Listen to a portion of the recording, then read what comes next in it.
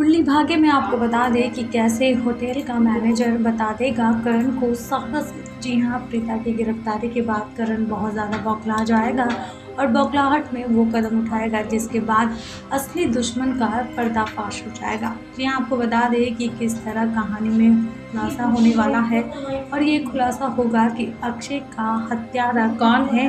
अक्षय की जान किसने ली है? और ये सब होने वाला है बैकअप फुटेज के ज़रिए। जी हाँ पृथ्वी बड़ी ही चालाकी से तीन दिन की फुटेज डिलीट कर देगा पर करण सीसीटीवी फुटेज को देख लेगा और बैकअप की फुटेज पुलिस को दे देगा और प्रीता को बेगुनाह साबित कर देगा। लेकिन देखना होगा ये कि क्या करण के लिए ये आसान होने वाला है।